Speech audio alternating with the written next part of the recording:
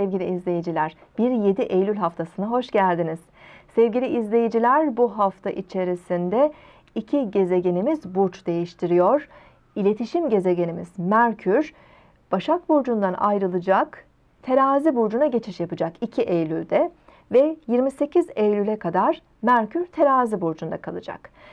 Merkür, iletişim ve zihinsel, düşünsel konuları e, temsil eder. Dolayısıyla terazi burcundaki Merkür özellikle ilişkiler, işbirlikleri, ortaklıklarla ilgili konularda e, bizim için daha verimli olabilir. Karşımızdaki kişinin düşüncelerini, fikirlerini önemseyebiliriz. E, dengeli ve uyumlu ilişkiler kurma konusunda daha hassas e, davranabiliriz. Diplomasiyle ilgili konular, hukuksal konular e, bu alanda biraz daha ön planda olabilir. E, şanslı gelişmeler olabilir.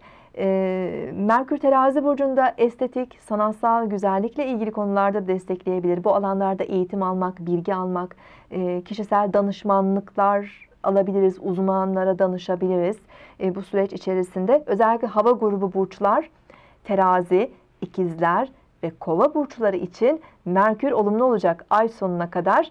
Ee, onların yaşamlarında iletişim daha fazla artabilir. Seyahatler, eğitimle ilgili konular daha fazla gündemde olabilir. Bir diğer gezegenimiz Venüs. Venüs ilişkileri temsil eden gezegenimiz 5 Eylül'de e, Aslan Burcu'ndan ayrılıp Başak Burcu'na geçiş yapacak.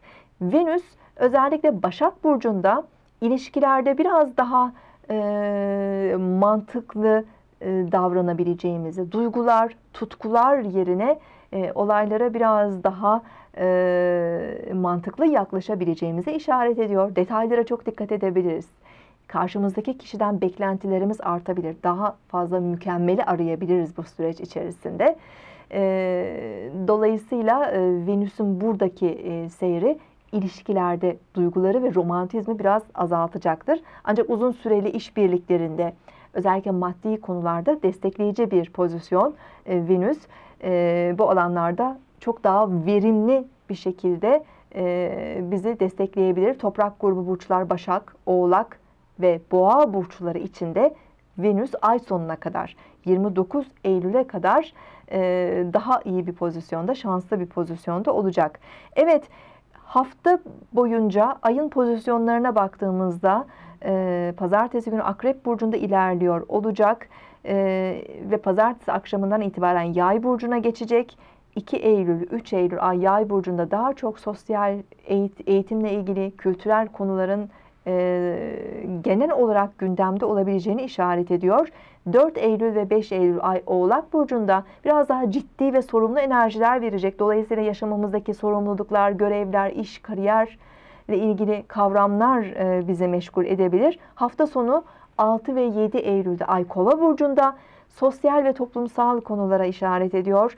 E, arkadaşlıklar, grup çalışmaları e, bu alanda özellikle hafta sonu genel olarak bizi daha fazla etkileyebilir sevgili izleyiciler. Evet lütfen haftanın yorumlarını burcunuza ve yükselen burcunuza göre de takip edin. Tekrar görüşmek üzere, hoşçakalın.